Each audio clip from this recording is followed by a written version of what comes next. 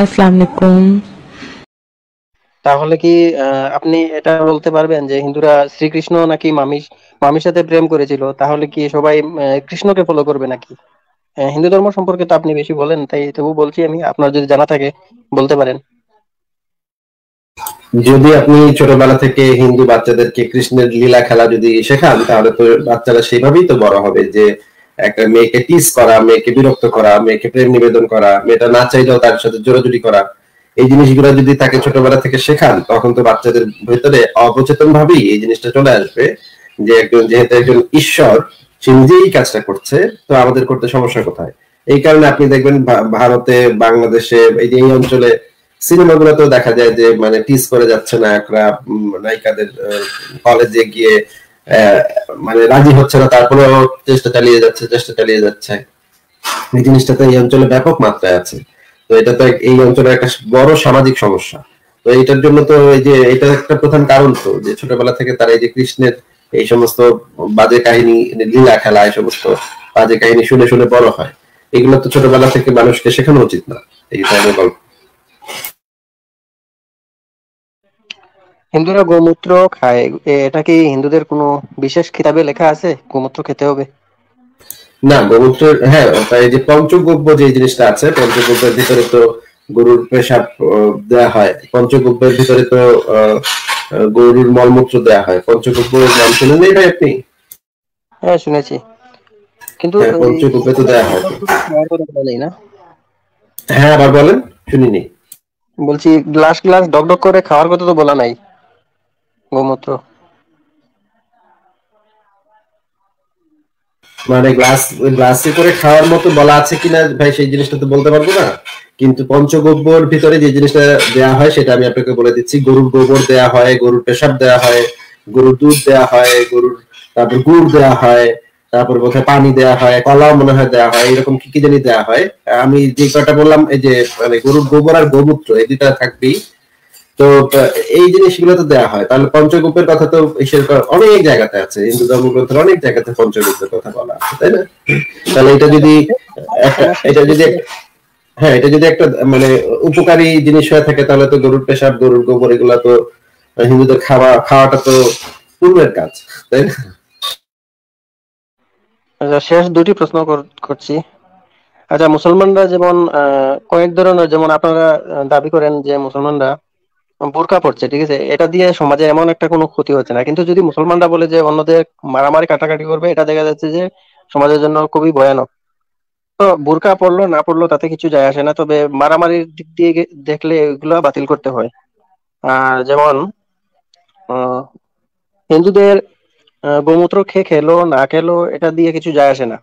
তবে যদি মারধর করতো হিন্দুরা অসংখ্য যেভাবে মুসলমানরা করে। মানে আমি জানতে চাই আপনার কাছ থেকে। আপনি তো দেখতে পাচ্ছেন, আমি ভারতে আছি, আমি ভারতে দেখতে পাচ্ছি। দুই পক্ষের মধ্যে কোন পক্ষ থেকে বেশিরভাগ মারামারি হচ্ছে, এটা পার্সেন্টেজ দেখতে গেলে মুসলমানদের তরফ থেকে বেশি। আজকেই আমি একটা নিউজ দেখলাম মসজিদে নাকি এই বোম বানাতে গিয়ে ওরা নিজেই বোম বানাতে গিয়ে বোম ফেটে একজন আহত একদম মরে যাবে মনে হচ্ছে। আর আরও একজন এইভাবে হসপিটালে ভর্তি। একজন মরে গেছে জায়গাতে স্পট ডেড তো হিন্দুদের কি হিন্দুরা তো অসহায় হিন্দুরা কি করবে? ভাই ভারতের হিন্দুরা অসহায় কথা তো আমার মনে হয় না। কিছুদিন আগেও তো গরুর মাংস খাওয়ার কারণে পিটায় মেরে ফেলতেছে ভারতের মুসলমানদেরকে। গরুর মাংস খাওয়ার অপরাধে। তো অসহায় এত একেবারে অসহায়। সমাধান হয় না। ভাই এত একেবারে অসহায় ভোলা ভালা শিশুর মতো অসহায়। এত আবার না তো ভাই হিন্দুরা তো এত আবার ইয়াও না। যেখানে তারা শক্তি পায় সেখানে ঠিকই তারা মানে উগ্র উগ্র কাজকর্ম করে জঙ্গিবাদী কাজকর্ম করে। উত্তর ভারতে তো হিন্দুরা অনেক মানে ভয়ঙ্কর জঙ্গি। মার খেলে তো উগ্র হয়ে যায়। না না মার না খেলে উগ্র হয়। ভাই মুসলমানরা আসার আগে থেকেই ভারতের হিন্দুরা অনেক বেশি উগ্র। ব্রাহ্মণ্যবাদী হিন্দুরা পুরো বাংলাদেশ যে অঞ্চলটা আছে সেই অঞ্চলে বসবাস করতে হচ্ছে গিয়ে সাংখ্য তারপরে মানে নানা ধরনের বৌদ্ধ, বিশেষ করে বৌদ্ধরা বসবাস করছে ভাই, এখন আমি কথা বলছি, ভাই, কথার মাঝখানে কথা বলেন না, ভাই, কথাটা শেষ করতে দেন, তারপর কথা বলেন। বাংলাদেশে আমরা যেখানে এখন বসবাস করি, সেখানে হাজার বছর আগে, হাজার হাজার বছর আগে যখন মুসলমানদের কোনো নামগন্ধ ছিল না, ইসলামের কোনো নামগন্ধ ছিল না, তখন ব্রাহ্মণ্যবাদীরা এই অঞ্চলে ঢুকে, বাংলাদেশের অঞ্চলে ঢুকে বৌদ্ধদেরকে কচু কাটা করেছে, গণহত্যা চালিয়েছে, বড় বড় গণহত্যা চালিয়েছে। লক্ষ লক্ষ বৌদ্ধদেরকে হত্যা করেছে, লক্ষ লক্ষ বৌদ্ধদের বিহা মঠ যেগুলাতে বৌদ্ধরা পড়ালেখা করতো, গবেষণা করতো, সেখানে অসংখ্য মানুষ, অসংখ্য বৌদ্ধকে হিন্দুরা হত্যা করেছে। তারপরে দক্ষিণ ভারতে কি হয়েছে? দক্ষিণ ভারতে হচ্ছে শিবের পূজারী এবং বিষ্ণুর পূজারী, তাদের ভিতরে মারামারি হয়েছে, বড় বড় যুদ্ধ হয়েছে তাদের ভিতরে। এক পক্ষ আরেক পক্ষকে দেখতে পারতো না। তারপর হচ্ছে ব্রাহ্মণ ব্রাহ্মণরা তো যুগের পর যুগ ধরে মানে দলিত যে মানুষ তাদেরকে, তাদের উপর অত্যাচার চালিয়েছে। যারা নিচু বর্ণের, নিচু গোত্রের বলে সো কল্ড নিচু বর্ণের বলে তারা দাবি করতো।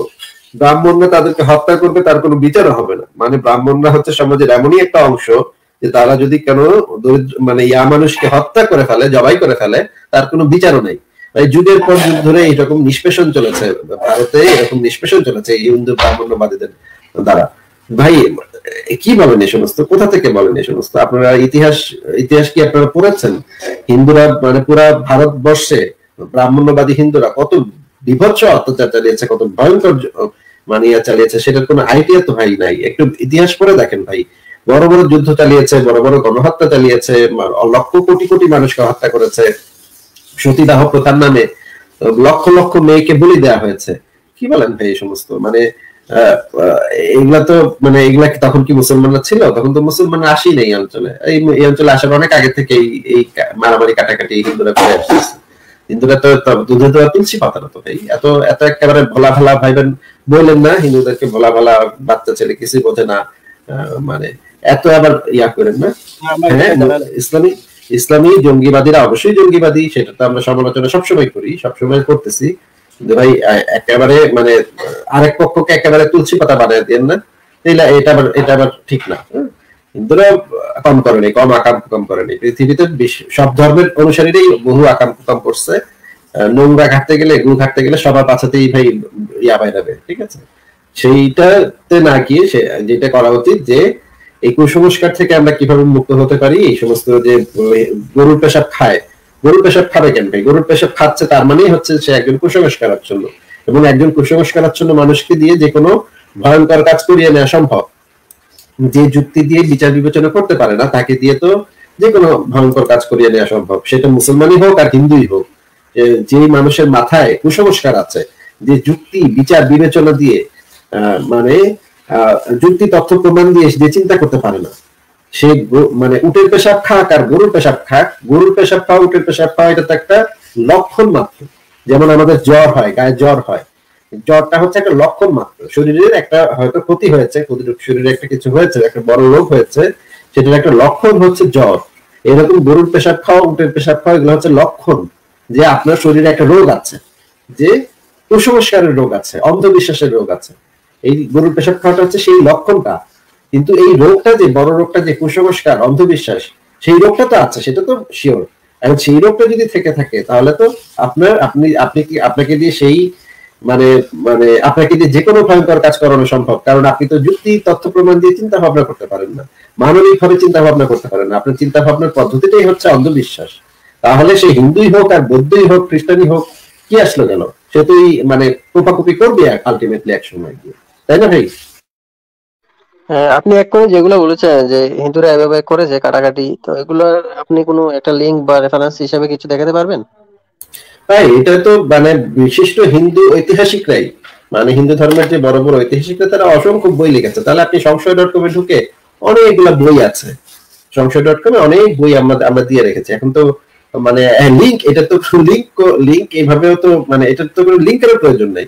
এটা তো ভাই ঐতিহাসিক সত্য যে ভারতে বাংলাদেশের বাংলাদেশের এই অঞ্চলে অসংখ্য বৌদ্ধ বসবাস করতো। একটা সময় মানে মঠ ছিল, বৌদ্ধদের অসংখ্য মঠ ছিল, যেখানে হিন্দুরা ঢুকে, ব্রাহ্মণ্যবাদী হিন্দুরা ঢুকে অসংখ্য গণহত্যা চালিয়েছে। এটা তো ঐতিহাসিক সত্য। যে কোনো, পৃথিবীর যে কোনো অথেন্টিক ইতিহাস গ্রন্থ পড়লেই তো আপনি এটা পেয়ে যাবেন। মানে আপনি, আপনাকে আমি কয়েকটা ঐতিহাসিকের নামও বলে দিতে পারি। ভারতের মানে পশ্চিমবঙ্গের অনেক বড় বড় ইতিহাসবিদ আছে। তাদের ইতিহাস গ্রন্থগুলো পড়েন, সেখানেও তো আপনি পেয়ে যাবেন। এই এটার একটা লিংক দরকার কেন? আচ্ছা তাহলে এখন কি ভারতে হোক আর পৃথিবীর আপনি তো চান যে সমস্ত পৃথিবীর সবাই সব এই বিষয়ে জানুক আপনাদের প্রচার হোক। আমি আপনার ভিডিওগুলো আমি কনভার্ট করে হিন্দিতে চ্যানেল করেছি ইউটিউবে আসিফ মহিউদ্দিন লাইভ হিন্দি তাতে আপনার কোনো প্রবলেম আছে? না না তাতে আমার কোনো প্রবলেম নাই অবশ্যই করতে পারেন। যদি ভালো হয় আরও ভালো হয় যদি আমার লেখাগুলাকে আপনি যদি হিন্দিতে অনুবাদ করে আমাকে যদি পাঠিয়ে দিতেন তাহলে সংসদ ডট কম আমি একটা সেকশন করে ফেলতে পারতাম হিন্দি সেকশন সেখানে আমাদের এইটা প্ল্যান আছে ভবিষ্যতে একটা প্ল্যান আছে যে আমরা হিন্দি ভাষাতেও সংসদ ডট কম লেখাগুলো থাকবে। আসলে আমাদের লেখাগুলো হচ্ছে বেশি ইম্পর্টেন্ট ভিডিওগুলো চাইতে লেখাগুলো হচ্ছে একটু বেশি ইম্পর্টেন্ট কারণ আমরা লেখাগুলাকে যদি আপনি যদি হিন্দিতে অনুবাদ করার চেষ্টা করতেন বা কাজে হাত দিতেন তাহলে আরও ভালো হতো ভাই। আচ্ছা আরেকটি প্রশ্ন। সবাই বলে নাকি নাকি টাকা পয়সার জন্য এসব করে? জার্মানি গিয়ে টাকা পয়সার জন্য। আমার যতটুকু ধারণা, আপনাকে জানি যে আপনি মার খেয়েছেন বাংলাদেশে, তারপর জার্মানিতে আপনি চলে গেছেন। তো আপনি, আপনার আপনার কাছে টাকা পয়সা আসে ইহুদি খ্রিস্টানদের কাছ থেকে? আপনি ইহুদি খ্রিস্টানদের দালালি কতটা কতটুকু সত্য, মিথ্যা? আপনি বলতে পারবেন? ভাই, এই যে যে কোনো একটা জিনিস বলতে হলে তো সেটা সপক্ষে কিছু প্রমাণ উপস্থাপন করতে হয়। যারা এই কথাটা বলেছে, তারা কি কোনো প্রমাণ উপস্থাপন করেছে? আচ্ছা আরও একটি প্রশ্ন। না না, ভাই, এটা, এটার উত্তরটা দিয়ে নেন আমি আপনাকে তো একটা প্রশ্ন করলাম যে যারা এই জিনিসটা বলেছে, তারা কি কোনো প্রমাণ দেখিয়েছে?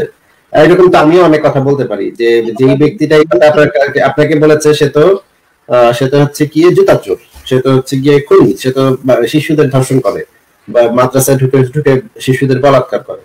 মানে আমিও তো এটা শুনেছি, ভাই। মানে এই শোনা কথার উত্তর আমি কি দিব, ভাই? এই জন্য একটা তো এভিডেন্স দেখাতে হয়, যে কোনো একটা দাবি করলে সেটা সপক্ষে একটা এটা তো ভাই একটা প্রাইমারি বিষয় যে কোনো একটা বিষয়ে যখনই কেউ একটা কিছু বলবে, তখন তো একটা সবচেয়ে ইম্পর্টেন্ট বিষয় হচ্ছে প্রমাণটা কোথায়? আপনার কাছে কি প্রমাণ আছে? কোন প্রমাণের ভিত্তিতে আপনি কথাটা বলছেন? তাহলে আমাকে একটা একটা প্রমাণ দেখান। তো আপনাকে যে কেউ একটা বলল আর আপনি শুনে এসে আবার আবার জিজ্ঞেস করলেন, ভাই ভাই, এটা একটু আপনারও তো একটু মাথা খাটানো উচিত ছিল এখানে। আপনারও তো জিজ্ঞেস করা উচিত ছিল, ভাই একটা প্রমাণ দেন ঠিক আছে বুঝলাম আপনার কথা ঠিক আছে একটা প্রমাণ দেন প্রমাণটা নিয়ে আমি আসিফ কাছে। যাই গিয়ে প্রমাণের ভিত্তিতে গিয়ে আমরা আমি প্রশ্নটা করি। আপনার কাছে কি ভাই কোনো প্রমাণ আছে? আপনি হুদেই একটা প্রশ্ন নিয়ে এসে বসছেন আমার কাছে। এই প্রশ্ন আমি করেছিলাম তো ওদের দাবি অনুযায়ী বোঝা যাচ্ছে যে ব্ল্যাক মানি হচ্ছে। এই বিষয়ে ওদের কাছে কোনো প্রুফ নাই তো ওরা সন্দেহ সন্দেহ করে ও মানে কথাটা রেখেছিল। তো ভাই এই ধরনের কথা কি কোনো মানে আছে ভাই? যে কারোর কাছে কোনো প্রুফ নাই কিন্তু সে একটা কথা এই ধরনের কথার কোনো ইয়াস অর্থ আছে? আর ধরেন আমি অনেক টাকা পাই, ধরেন ইসরায়েল থেকে আমাকে মাসে এক কোটি টাকা দেয়া হয়। আমি আমি কি বলব আপনারে যে হ্যাঁ ভাই, আমার ইসরায়েল থেকে তো এক কোটি টাকা দেয় মাসে? হ্যাঁ ভাই, ঠিকই কইছেন ভাই। আপনার কি মনে হয়, আপনি আমার কাছে এসে জিজ্ঞাসা করলে, আমি যদি টাকা পাইও, আপনার আমি বলব? এটা আপনার মনে হলো আপনি টাকা পেলে আমার কোনো অসুবিধা নেই। এমন অনেক লোক আছে যে, আপনি টাকা পেলে প্রবলেম নেই। কারণ আপনারা যে আপনারা যে কাজ করছেন, এই কাজের জন্য তো পয়সার প্রয়োজন পড়ে কারণ অনেক সময় দিয়ে দেন। আলোচনা না না কিন্তু কিন্তু এই প্রশ্নটা করার মানেটা কি আমি বুঝলাম না। আমি তো আপনাকে বলব না। যদি আমি টাকা পাইতাম তাইলে তো আমি আপনাকে বলতাম না। তো সবচেয়ে ভালো হয় এই বিষয়ে যে আপনি একটা প্রমাণ নিয়ে আসবেন। যারা এই কথা বলবে তাদের কাছে বলবেন যে একটা প্রমাণ দেখান। প্রমাণ ছাড়া তো ভাই কোনো জিনিস গ্রহণযোগ্য না তাই না? আমি বলছি যে চাপাতি খুব খাওয়ার পর এইভাবে সবকিছু মিলে যাবে, এটা তো হতে পারে না। যে আপনি টাকার জন্য এই কাজ করছেন এবং খুব ভালোভাবে কাজ করতে পারছেন, তাছাড়া আপনাকে মারধর করা হয়েছে, তার সাথে এই কথাটা মানে মিলছে না আর কি। হ্যাঁ ঠিক আছে। তাহলে ভাই, আপনাকে আজকে বিদায় জানাই। আমাদের ওই